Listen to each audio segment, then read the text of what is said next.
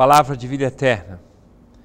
Do Evangelho de São Marcos, capítulo 11, versículos 27 a 33. Naquele tempo, Jesus e os discípulos foram de novo a Jerusalém.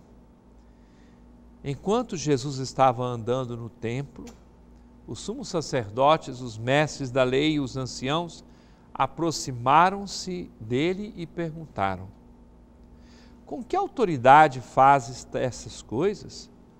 Quem te deu autoridade para fazer isso? Jesus respondeu: Vou fazer-vos uma só pergunta.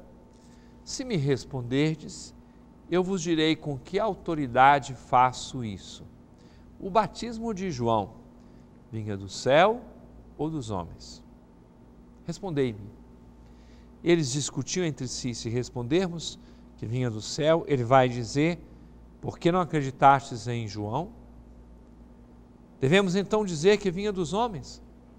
Mas eles tinham medo da multidão, porque todos de fato tinham João na qualidade de profeta.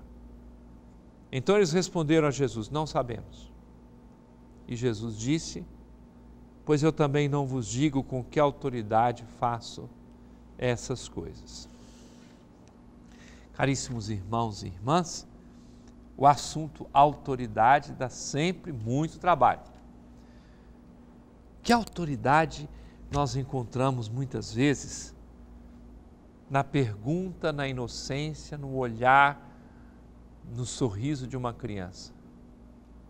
Porque vem de dentro esta autoridade.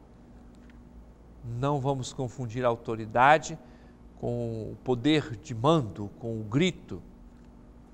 Autoridade é você ter convicções interiores ter um compromisso com a verdade, e nesse compromisso com a verdade você pode falar e ter credibilidade.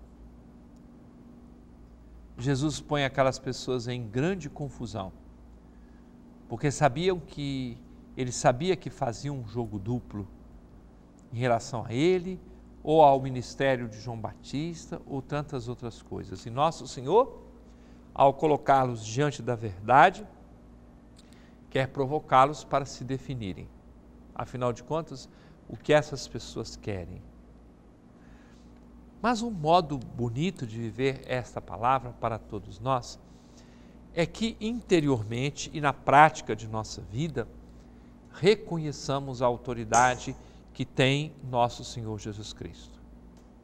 A força de Sua palavra e que nós aprendamos que o confronto com a palavra de Jesus nos liberta, nos salva, ao invés de nos impedir de ser felizes, de realizar a nossa própria vida.